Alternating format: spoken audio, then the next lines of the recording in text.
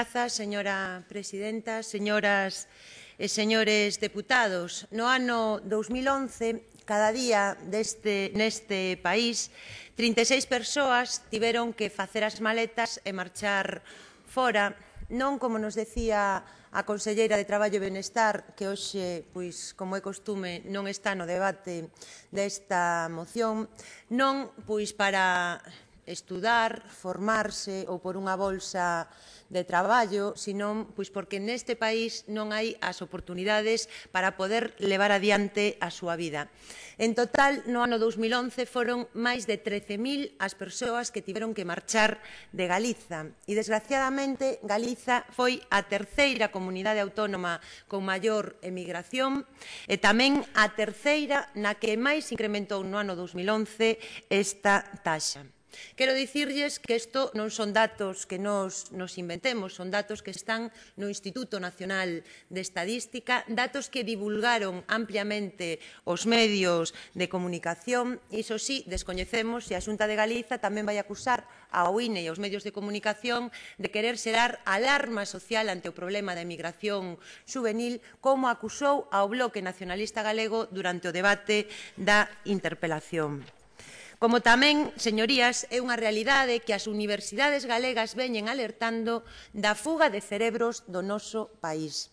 A Universidade da Coruña publicaba un estudio no que facía mención a que no último ano se duplicara o número de titulados e tituladas desa universidade que tuveran que marchar a buscar fora as oportunidades que aquí non tiñan. Sabemos tamén que hai un grave problema derivado dos recortes no I máis D máis I que está provocando que exista unha maior precariedade nos investigadores e nas investigadoras que está reducindo, polo tanto, a capacidade de Galiza para que esas persoas fiquen no noso país e mesmo que aquelas liñas que había para propiciar que os investigadores investigadores e as investigadoras que estaban fora puideran volver, pois hoxe, coa política que está levando adiante a Xunta de Galiza, teñeno moito máis difícil. E o problema, eh, señorías, non está nin no goberno anterior, nin en unha maldición divina. Efectivamente, este é un problema estructural que ten o noso país, que ten a ver coa destrucción da súa base productiva e tamén que ten a ver coas condicións de precariedade laboral que se dan na Galiza. Non podemos olvidar que seguimos tendo os salarios máis baixos de todo o Estado. E, por tanto, que aí tamén hai un elemento que neste momento sería necesario correxir. Por desgracia, o que temos é a política contraria. O Partido Popular xa nos vende demostrar con moita clareza como a súa prioridade non é loitar contra o desemprego, ni loitar contra o desemprego juvenil, e moitísimo menos contra a precariedade laboral ou contra os baixos salarios.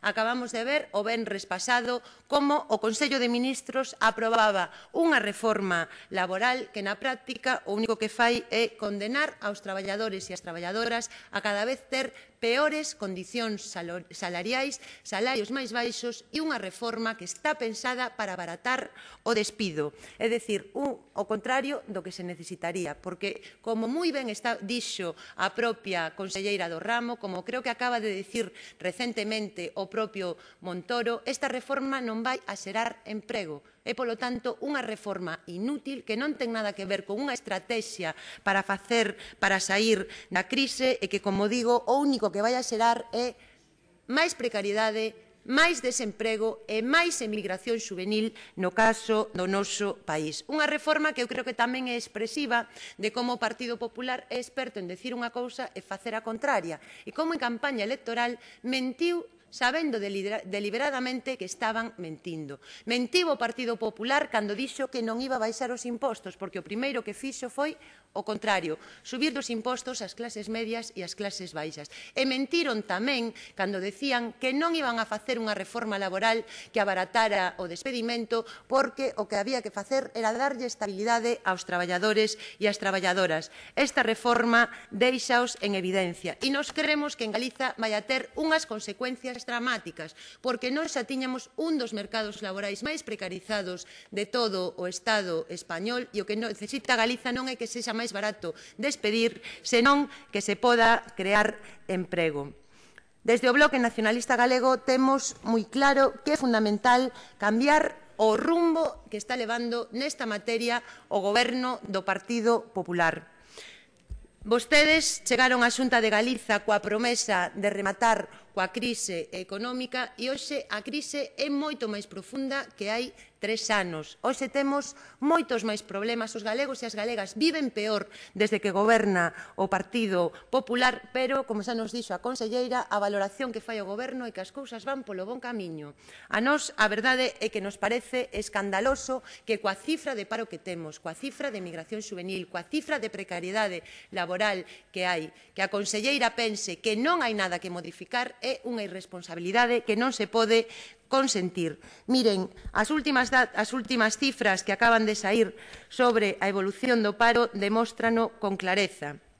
En Galiza temos en menores de 20 anos unha taxa de desemprego do 48,3%, en menores de 25 anos do 35,4% e co agravante que desde que goberna o Partido Popular aquí se está destruindo emprego a un ritmo moi superior que ao conxunto do Estado. Este é o resultado das políticas de Feijó. Nos hoxe presentamos unha moción con tres puntos que reclaman un cambio de rumbo, porque decir que as cousas van ben Cos datos que temos e coa realidade social que hai é unha auténtica irresponsabilidade, unha temeridade e dun goberno que non sinte os problemas do povo que o puso aí para gobernar.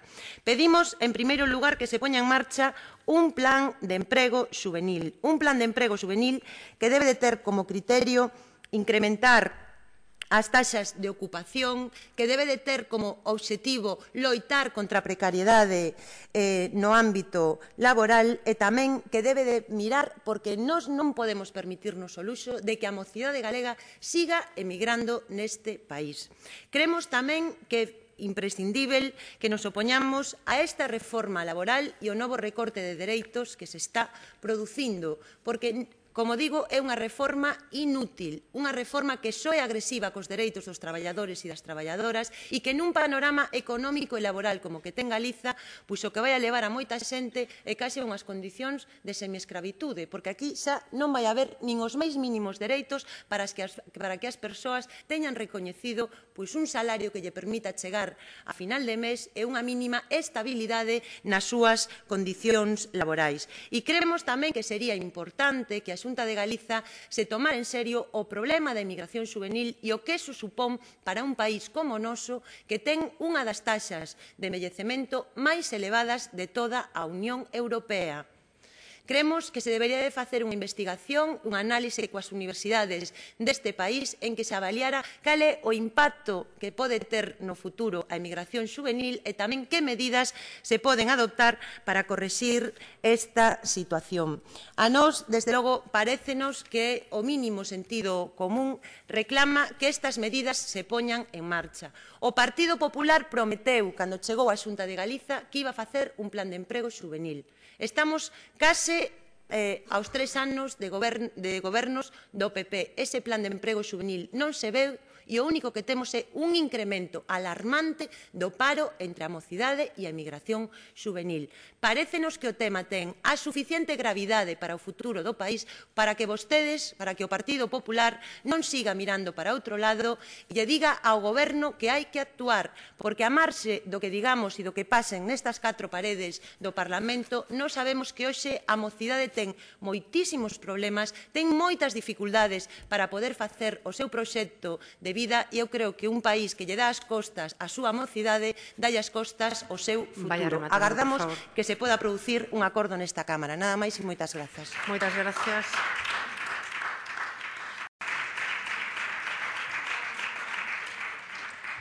Polo Grupo Parlamentario Autor da Moción ten a palabra a señora Pontón Mondelo.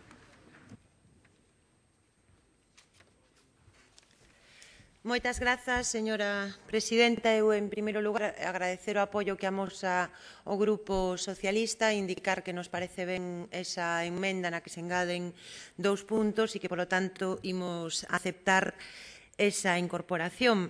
Non me quedou moi claro cal é a posición que vai manter o Grupo Parlamentario Popular. Popular Deduzo pola súa primeira intervención que considera que todo está ben, que non hai nada que facer, aínda que como rematou dicindo que pois a situación non pode seguir así, aínda albisco a esperanza de que podan modificar a súa posición esperable de voto que supoño que é negativa. Eu en todo caso o diría que negar a realidade desde logo non soluciona os problemas deste país hai estudos, estadísticas e datos que demostran que en Galiza se incrementou o paro desde que vostedes gobernan, que destruímos emprego a un ritmo moi superior que o conxunto do Estado e antes a diferencia era que mentres no Estado español se destruía moito emprego aquí non e chegan vostedes á Xunta de Galicia e de repente duplicamos o ritmo de xeración de desempregados. Eu imagínome que algo terá que ver en todo isto o Partido Popular, porque se a conclusión é que a Xunta de Galiza non ten nada que ver coa situación económica deste país, realmente o mellor que poden facer é pechala. Claro, que o único que o mellor que poden facer é pechala. Nos decimos que a Xunta ten capacidade para incidir na evolución económica de Galiza e que o problema é que esos instrumentos non se están utilizando a favor de Galiza non se están utilizando para facerlle frente á crise e hai unha estrategia, tanto no ámbito laboral como no ámbito económico, errada que está agravando as consecuencias da crise no noso país. En iso sí que ten que ver, mire vostede, o Partido Popular e a Xunta de Galiza. Ven aquí a decirme que eu dou datos falsos e que lle vou a dar a presidenta para que lle pase os datos que aínda eh, imprimín pois un pouco antes de vir a este debate do Instituto Galego de Estadística, taxa de paro por sexo e grupos de idade, Galiza, porcentaxes, 16 a 19 anos, taxa 48,3%. De 20 a 24 anos, 35,4%. Supoño que entón vostede di que o IGE minte. O Instituto Galego de Estadística para o Partido Popular minte. Creo que non, verdade? Creo que o problema é que vostedes non queren asumir o a grave situación que neste momento están atravesando moitas persoas e prefiren vir a este Parlamento co retrovisor postos para non ter que enfrentarse á realidade tan difícil que teñen e o fracaso das políticas do goberno do Partido eh, Popular. Di vostede que a Xunta nunca dixo que as cousas foran ben, que este é un goberno que di a verdade. Eu xa lle dixen, o Partido Popular mentiu en campaña electoral mentiu en campaña electoral. Dixo que non ia subir os impostos e a primeira decisión que adoptou foi unha subida de impostos non para os que máis teñen, sino para as clases medias e para as clases baixas. Dixeron que Era un erro a reforma que fixo o goberno socialista. Nós tamén nós estivemos en contra desa reforma. Pero é que vostedes que en campaña dixeron que non ian a facer unha reforma laboral que abaratara o despido, a segunda decisión que adoptan é unha reforma laboral que realmente deixa en papel mollado os dereitos dos traballadores e das traballadoras, que instaura case o despido libre no noso país e que ademais vai, a, vai a provocar unha baixada de salarios que é xusto o contrario do que se necesita neste momento. E mire, teño aquí a transcripción do que dixo a señora Mato durante o debate da interpelación. E dixo, e digo e reitero que estamos no bo camiño. A nos parecenos que as cifras, a realidade que hai fora destas catro paredes poñen de manifesto que as cousas van de mal en peor e que esta situación non pode continuar aquí. Mire, eu xa lle digo, o problema da inmigración e o problema do desemprego en Galiza non ten que ver coa formación dos galegos e as galegas e que non, ten que, non é un problema de formación, é un problema de destrucción de emprego en Galiza, de destrucción da capacidade productiva e dun goberno que non está disposto nin tuvo vocación a poñer en marcha ningunha soa medida para frear esa situación. A mí me parece que esa é a clave, porque seguir aquí eh, reiterando, incidindo nesa idea de que hai emigración porque non hai formación é unha falacia e é non querer enfrontar os problemas que ten o noso país. Lamentamos, señores do Partido Popular, que a mensaxe que vostedes hoxe lle lancen aos galegos e as galegas, aos mozos e as mozas deste país, é que non van a facer nada para modificar o actual estado de cousas, que a Xunta de Galiza non quere ser parte da solución dos problemas, sino que se convirte nun problema e que, que o único que mm, lle ofrece a mocidade pois é máis paro, máis precariedade, salarios máis baixos e emigración juvenil. Lamentamos que esa sexa a posición. Moitas grazas. Moitas gracias. Moción do Grupo